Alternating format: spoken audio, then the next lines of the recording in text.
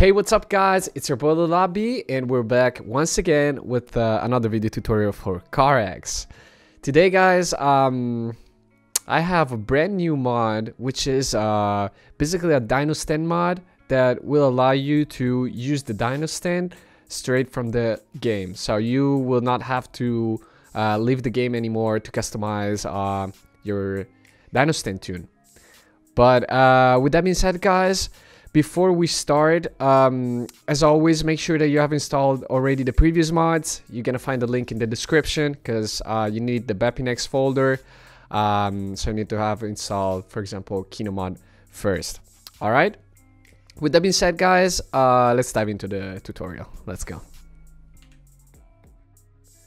All right, guys. The first thing you gotta do is, as always, go in our Discord. Uh, you'll find the link in the description, as always.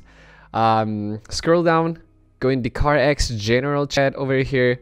And once you're here, what you gotta have to do is uh, click in the pinned messages. Oh, actually, I didn't pin it. It's this one. All right. You will have to, you probably will see many other messages. So just click on the pinned message messages and you're gonna find it over here. It's this one, MP Dyno Stand. All right.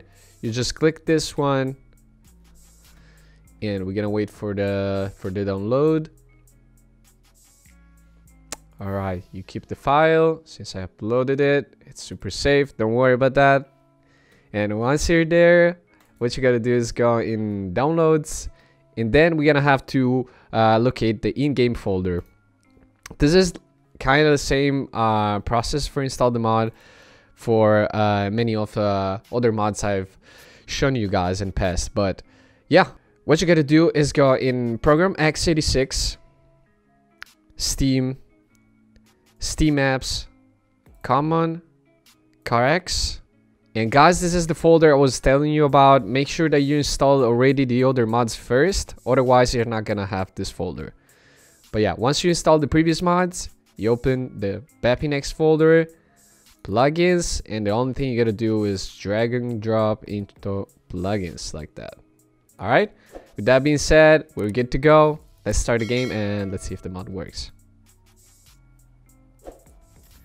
Okay guys once you're in the game uh, the only thing you gotta do is go in the um, just press start or Esc on the keyboard.